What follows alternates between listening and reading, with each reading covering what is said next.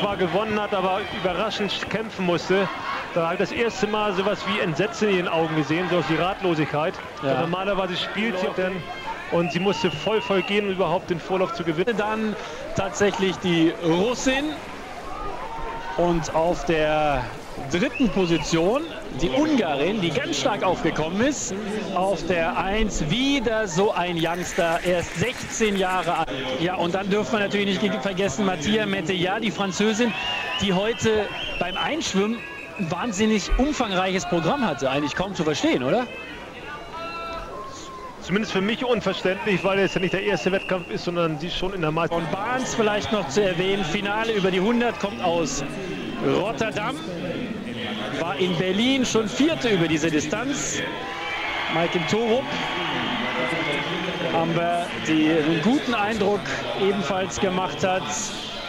Schon hier ganz stark in dem Vorlauf war die Ukrainerin Bondarenko Gold über die 100 gewonnen auf der 5. Da haben wir sie, 32 Jahre alt, doppelte Mami. Also da geht, da geht trotzdem noch was. Eine Spanierin auf der 6, Enada Heran. Dann aus Belgien, Alessandro Willems. Und eine Schwedin auf der 8, Josephine Wede. Auch ganz jung, 16 Jahre jung. Und damit die jüngste in diesem ersten Halbfinale. Startregel. Müssen wir ganz kurz darauf eingehen, Thorpe. Das war ja eine tolle Geschichte, ne? Hat für ihn noch ein glückliches Ende gefunden, aber er durfte dann sich auch seine Sachen packen. Und ich vermute sie auch. Ja, sie geht zurück. Das heißt, egal was passiert, wenn das hier gerade ein technischer Fehler ist, wenn man betrifft. Nora Barta, 107C. So, Nora Barta, bisschen Stoff ganz schön viel anfangen. Ja, das ist wahr. Und äh, da müsste man auch in vielen Dingen noch ein bisschen mehr drauf eingehen, weil ich denke, dass man nicht jeden in jeden Badeanzug stecken kann, sondern es muss dem Typ entsprechend auch äh, ja, darauf eingegangen werden. Ja, schön. 60, 90. Schöne Steigerung. 400 dann zu Hause war, war sie doch ziemlich einsam mit mehr jüngeren Springern zusammen und man braucht doch auch so ein bisschen die Konkurrenz im eigenen, in der eigenen Trainingsgruppe, um sich dann da so ein bisschen nach vorne zu zumindest für die Bronzemedaille gewesen. Ja, 462 Scheiße. Oh, je. oh ja, jetzt sind sie natürlich beide für sie im Mittelpunkt ihres Interesses hat. Auf der Auf der 4 Jukic. Oben drüber Larsson. Auf der 2 noch zu erwähnen Kaslaru. Zweite über die 2062 stand für sie und jetzt also Wien Uhrwerk 228,55. Damit ist sie die einzige, die sie sogar ja unter 2,29 geschwommen ist. Eben noch in den Endlauf hat sich Debbie Wade schieben können auf Bahn 8, die gestern über die 100 Meter hier siegreich war und die sich jetzt natürlich Maximalpunktzahl im Weltland, ich muss mich korrigieren, startet auf Bahn 1. Julie Howard aus Kanada, Bahn 2, Bahn 3 Michelle Smith. 100 Meter Lagen, noch einmal zur Erinnerung.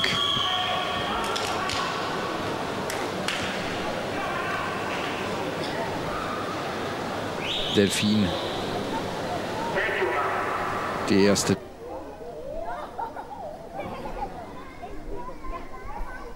Julie Howard aus Kanada. Dritte hier über die 50 Meter. Und das scheint hier einiges Selbstbewusstsein gegeben zu haben. Schon beim Einmarsch spürbar.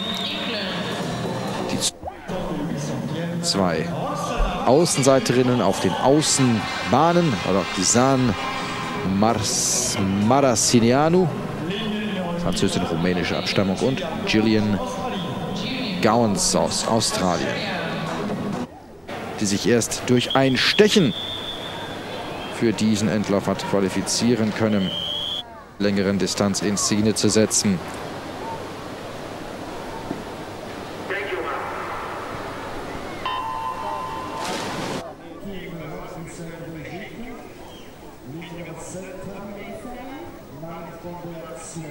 Chance war immerhin Zehnte bei den Olympischen Spielen. Petria Thomas mit höchste Teilnehmerin in diesem Wettbewerb. Kim van Kreuzen aus Belgien, Marlin Stromberg, einer der starken.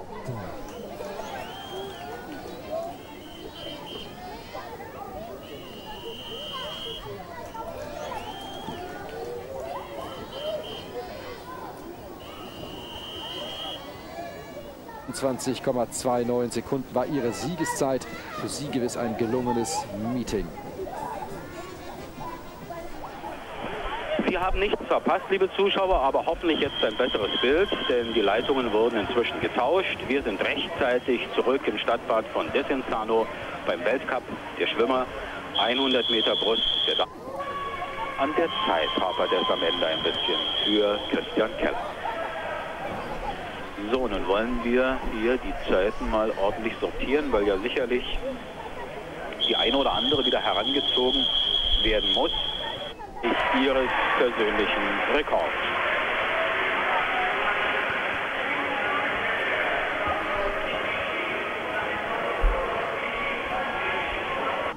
So viel Zähler zu sammeln, dass wir am Ende den Sieg davontragen. Vielleicht einen Augenblick äh, Unterbrechung mal, ja. Jetzt wird wirklich ein sehr, sehr spannendes Rennen. Die äh, 50 Meter Freistil der Frauen. Die Sandra hat ja schon mal die Franziska geschlagen. Es wird aber sehr, sehr schwierig gegen äh, Li, Jing Li aus China, die mit Sicherheit versuchen wird, jetzt unter 25 zu schwimmen, was für Sandra nicht möglich ist. Judith Draxler, die Österreicherin, das ist auch recht erstaunlich, wenn man davon ausgeht, dass die Österreicher in den letzten zwei, drei Jahren... Dritter Platz über 200 Meter Lagen in Barcelona. Brooke Bennett, Olympiasiegerin über 400 Meter Freistil. Favoritin ob Janelle Atkinson aus Jamaika. Diese 18-Jährige ist schon etwas bekannter, Joanne Maller, die erfolgreichste kanadische Schwimmerin der letzten acht Jahre. Haben eine gute Chance eigentlich auf dem Papier, sollte auch Mika Haruna haben, dennoch bedauerlicherweise. Ja, es sind verschiedene Gründe, die dazu kommen.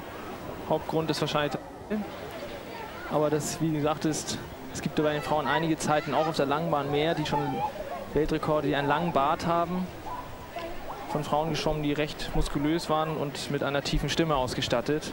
Bart sozusagen schon das Stichwort. Es gibt ja auch über die Chinesinnen entsprechende Geschichten, äh, die man muss das, kann das nicht oft genug betonen.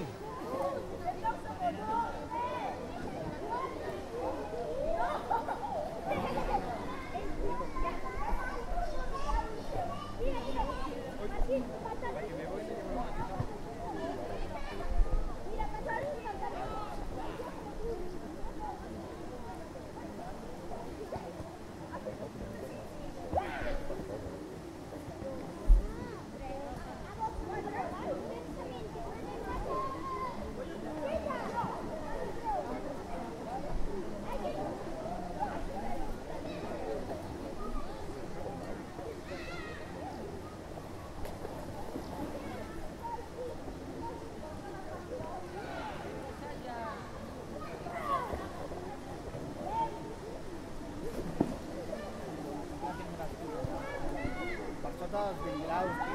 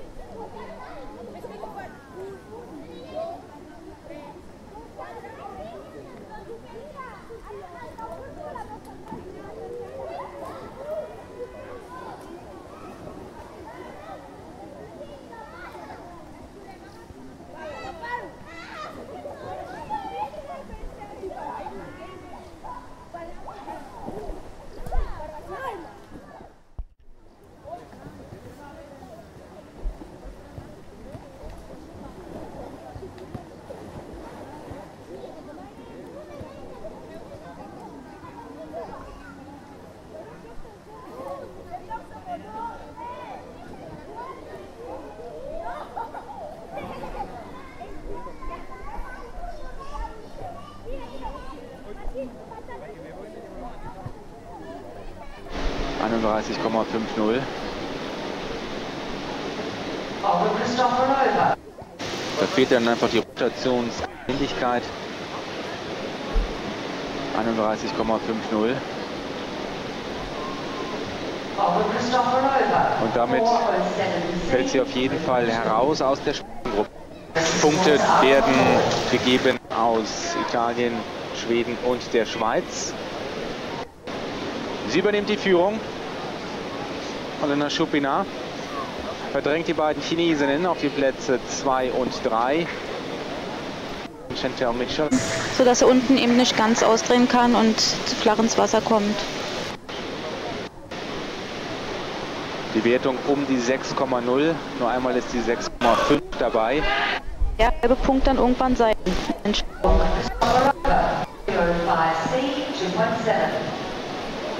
Emily Hammonds im Moment dritte hinter Chantal Mitchell und 0,5. Olina Schupina bleibt damit auf Goldmedaillenkurs. Der Vorsprung fast 30 Punkte zu Chen Li. Der Stand nach drei. Dann die zweite Chinesin, Chen Li, 452,25 Punkte im Vergleich und in der Schule 400. Eine Operation hatte und die bis heute noch nicht richtig auskuriert ist.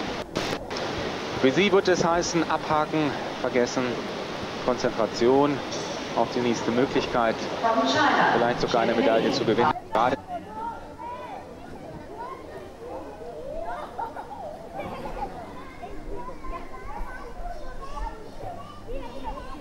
Thank you.